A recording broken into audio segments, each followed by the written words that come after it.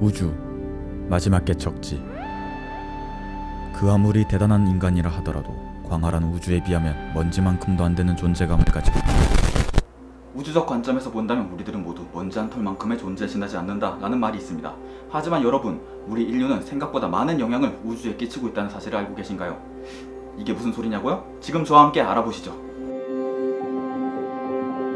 카르다쇼프 척도는 1964년에 러시아의 천문학자인 니콜라이 카르다쇼프가 고도로 발전한 문명들의 수준을 총 에너지 사용량에 따라 구분한 우주 문명의 척도입니다.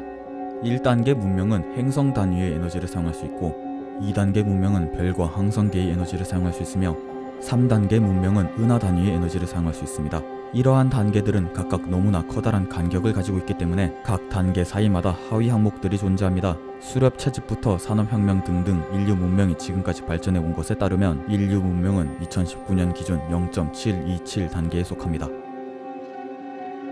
카르다쇼프 척도에서 굉장히 흥미로운 부분은 이것을 통하여 외계 문명을 관측할 수 있다는 것입니다. 앞서 말했듯이 각 단계의 문명은 고유한 형태로 복사 에너지를 방출하기 때문에 아무리 발달된 문명이라 하더라도 열역학 법칙을 거스를 수는 없으므로 그들의 문명은 우리에게 관측될 수밖에 없습니다.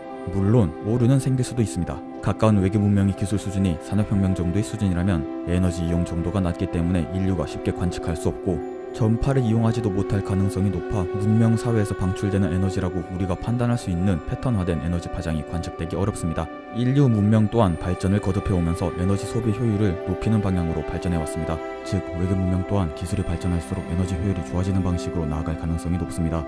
그러니 특정 수준 이상의 기술력을 갖추게 된다면 방출하는 열 에너지의 양과는 달리 기술력과 문명의 발전 수준이 매우 높을 수 있습니다.